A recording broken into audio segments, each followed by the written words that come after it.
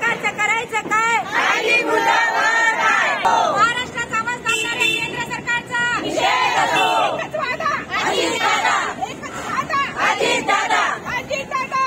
मेहराज पटेल महिला शहराध्यक्ष राष्ट्रवादी कांग्रेस पार्टी पंतप्रधान नरेंद्र मोदी जी जब दौरे पे आए थे तब पालक मंत्री उप मुख्यमंत्री अजीत दादा पवार और सब मंत्री वहाँ मौजूद थे। तब केंद्र सरकार ने कहीं तभी महाराष्ट्र का आवाज़ दबाने का काम किया। ये अन्यायकारक है, सब लोगों पे अन्याय किया है। महाराष्ट्र का आवाज़ ये लोग दबा नहीं सकते, इसलिए आज पूरे महाराष्ट्र में हम केंद्र सरकार के खिलाफ निषेध कर रहे हैं। महाराष्ट्र अपना आवाज़ ऊँचा, बुलंदी अजीत दादा की ऊंचाई उनको समझ में आई थी, इसलिए उन्होंने कहीं ना कहीं उनको बात करने से रोका। इसका आज हम लोग यहाँ निषेध करते हैं।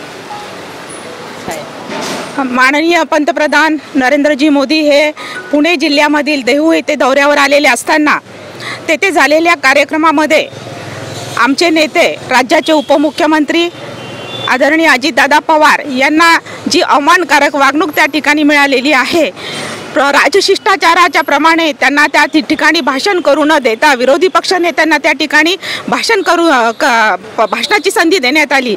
हा तर जर खरं पाहिलं तर एक पालकमंत्री म्हणून दादांचा पक्षाचे नेते म्हणून आमचा आणि महाराष्ट्राचे उपमुख्यमंत्री म्हणून समस्त महाराष्ट्राचा हा अपमान आहे. हा अपमान आम्ही कदापिही सहन करणार नाही. त्या अप अपमानाच्या निषेधार्थ आम्ही आमच्या प्रदेशाध्यक्ष माननीय विद्याताई चव्हाण यांच्या मार्गदर्शनाखाली आज या ठिकाणी निषेध नोंदवत आहोत.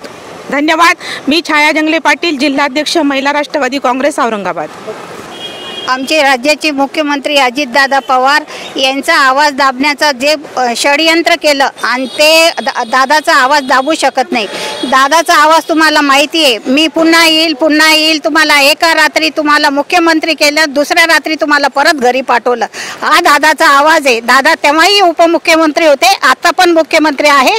दादाला कोणी हटवू शकत नाही. दादाची बरोबरी कोणी अख्खा महाराष्ट्र करत नाही. आणि असं करणाऱ्याचा आम्ही नि निषेध व्यक्त करतो. राष्ट्रीय सचिव विनंती करेल